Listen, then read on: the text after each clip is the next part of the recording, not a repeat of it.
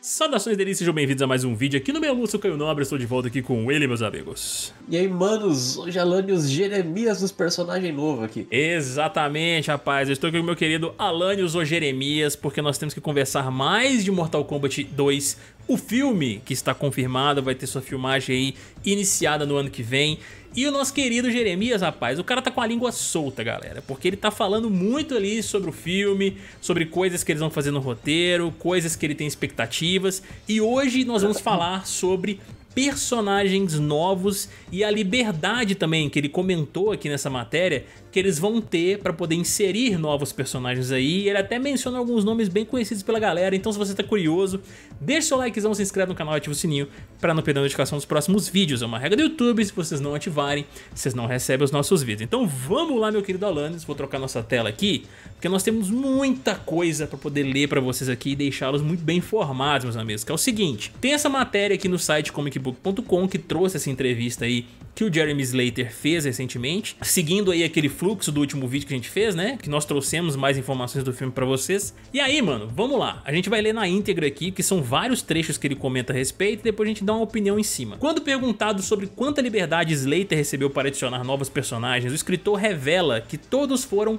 flexíveis. No entanto, adicionar novos personagens é um equilíbrio delicado, considerando todos os personagens que retornam do primeiro filme, que já tinha um elenco bastante grande. Para este fim, Slater sugere que os fãs não devem esperar uma parada especial. Muito boa essa tradução de parada especial aqui. e aí ele começa, o próprio Jeremy Slater falando agora. Ó. Eles são realmente flexíveis, porque muito disso é apenas quem queremos ver e muito disso é por quem os fãs realmente clamam. Porque, tenho certeza que você sabe, Mortal Kombat tem uma base de fãs incrivelmente apaixonada e incrivelmente vocal nas mídias, disse Slater. E há pessoas que eles realmente querem ver nesses filmes e relacionamentos que eles querem ver também. E parte do problema é que temos que retornar com os personagens daquele primeiro filme que você já tem que equilibrar. Se o último filme introduziu 10 personagens, não podemos necessariamente dar a volta e introduzir outros 10, porque senão você está lidando com 20 personagens em um filme e se torna uma espécie de desfile de cameos. Aqui ficou esquisito, mas cameos são participações especiais. O que, que ele quis dizer? A gente coloca muita coisa ali, tem personagem que vai ficar só com uma aparição mesmo, vai ter papel nenhum na trama, vai, ser lá, vai aparecer lá só pra morrer, tipo a Anitara da vida, e é isso. Então você realmente tem que escolher a dedo quem são seus três ou quatro heróis favoritos, podemos adicionar, e quem são seus três ou quatro vilões favoritos. Isso aqui ele coloca num formato de pergunta, né? Passando para nós aqui, espectadores, mas vocês entenderam a ideia. A Slater continuou soltando alguns nomes específicos como Kitana e Aaron Black, embora não tenha ido tão longe para confirmar esses personagens. Ó. Como apresentamos alguns desses ótimos personagens, mas os usamos de uma maneira que pareça satisfatória e também não pareceu satisfatória, né? Ele quer dizer que eles apresentaram alguns personagens no 2021 para nós que ficaram bons em um ponto e não ficaram tão bons em outro ponto.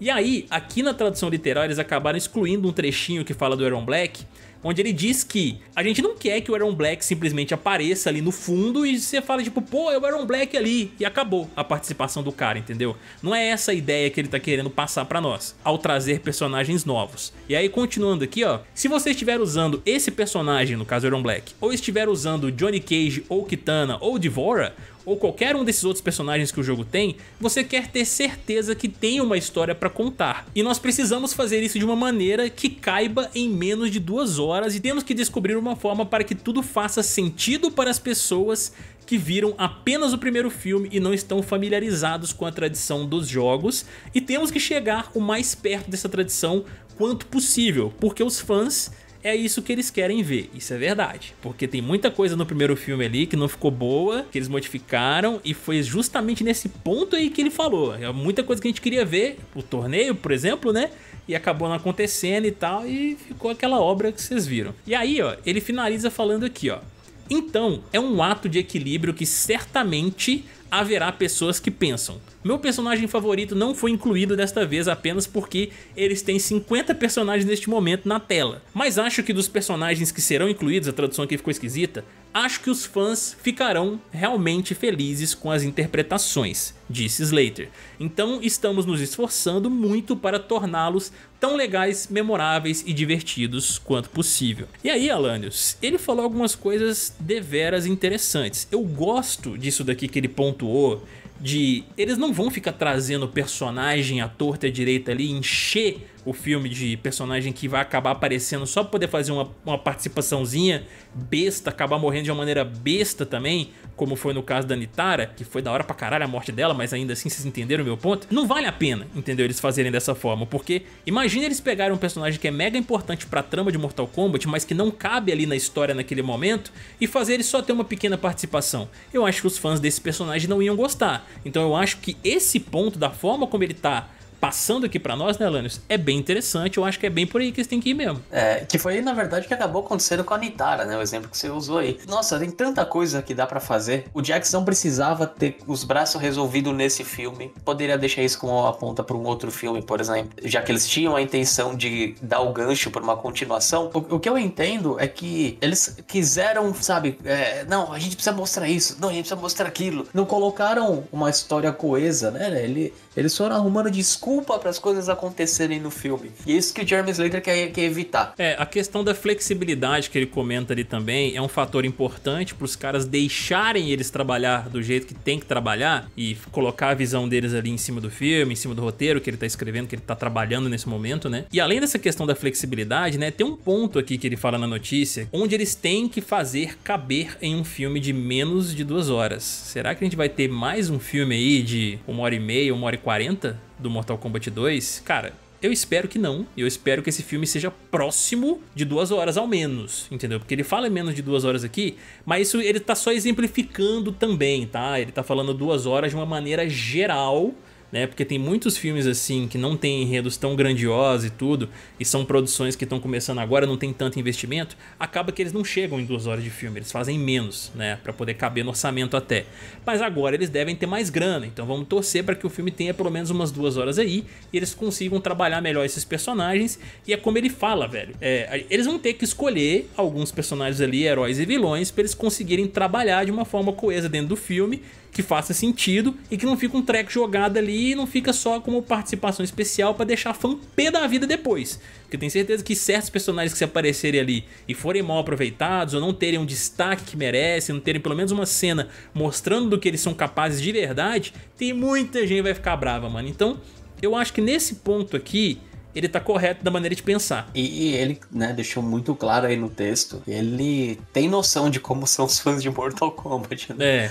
Então, se tem uma coisa que eu acho que ele não quer, é um monte de gente lá na timeline dele do Twitter, lá arrebentando o roteiro, né? Se a gente for pegar o filme lá de 95, né? Ele não tem duas horas, mas é uma história muito bem contada. Lógico que a gente quer um filme mais, mais longo, né? Mas já foi mostrado que dá para fazer uma história bem contada num filme um pouco mais curto. No entanto, fica uma sensação estranha se o filme ficar mais curto, porque atualmente os melhores filmes que a gente tem visto, todos eles são filmes muito longos. Você percebe que os caras conseguem um tempo maior de filme ali, porque tem uma grana maior sendo investida. E aí quando você olha e fala, pô, Mortal Kombat vai ter menos tempo de filme, você já tem aquela sensação de que a, a galera não, não tá confiando, não tá tratando com a mesma seriedade. Pesa pro, pro preço do filme, né? Pro conceito do filme de modo geral. Então a gente não quer né, ver isso, porque Mortal Kombat com o tempo certo, dá pra contar muita coisa legal. Né? Dá para fazer muita coisa legal. Bom, meus amigos, então é isso, cara. Acho que a gente já elencou todos os pontos aqui importantes desse texto aqui, onde o Jeremy Slater fala um pouquinho sobre o roteiro, personagens novos e tudo mais. E agora a gente quer saber de você aí,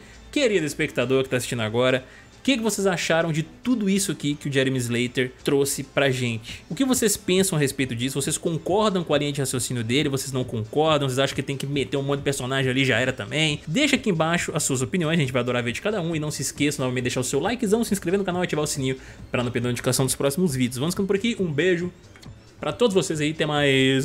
Vamos.